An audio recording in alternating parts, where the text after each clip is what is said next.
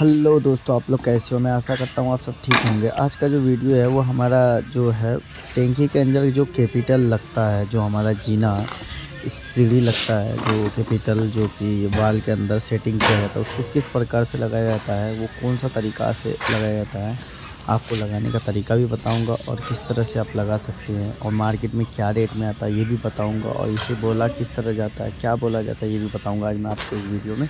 जैसे कि ये दिख रहा होगा आपको मेरे हाथ में, ये कैपिटल है। इसका जो पकड़ होता है, ये जो आपको दांत जैसा दिख रहा होगा, ये हमारा वाल के अंदर जाता है। और वाल के अंदर सुराख कर कर लगता है। अब इसको चिनाई के अंदर तो हैंड टू हैंड लगा सकते हैं, लेकिन वाल के अंदर कटाई कर कर लगाना पड़ता है इसको और बहुत ही ज़्यादा वर्क करता है, जैसे कि इस तरह दीवार पे लगता है, जैसे आपको दिखा रहा हूँ मैं।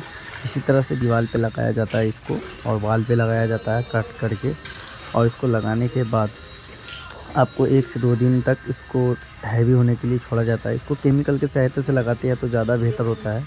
अगर बाद में अगर आप पहले लगाते हैं तो आप कोई केमिकल यूज़ नहीं करना पड़ता। आप लेवल देख के, सामने देख के स्टेप बाय स्टेप लगाते चलिए। प्रोसेस इसका यही है। और वाल में आप कटिंग करके लगाएँगे। और इसका जो स्टार्टर है, जो स्टेप की तरह आपको जो टेंकी के अंदर आने जाने के लिए जो बनाया जाता है, जैसे कभी वास्तव में आपको टैंकी में सफ़ाई करना पड़ता है, जैसे कॉन्क्रीट का आपका टैंकी होता है अंडरग्राउंड तो उसके अंदर जाने के लिए होता है। और इसमें सरिया के सहायता से बनाया गया है। ऊपर से लवर का कवर चढ़ा हुआ है।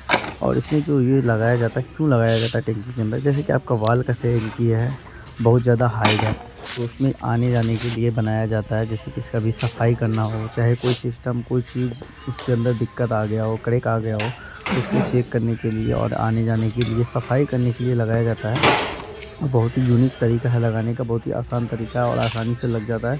अगर ये वीडियो आप लोगों को अच्छी लगे तो चैनल को वीडियो को लाइक करें चैनल को सब्सक्राइब करें बेल आइकन ज़रूर दबा दें जिससे कि इस तरह की वीडियो की नोटिफिकेशन आपको मिलती रहे। मिलते हैं हम किसी अगली वीडियो में। तब तक के लिए आपको ये चीज़ समझना ज़रूरी है। आपको मैंने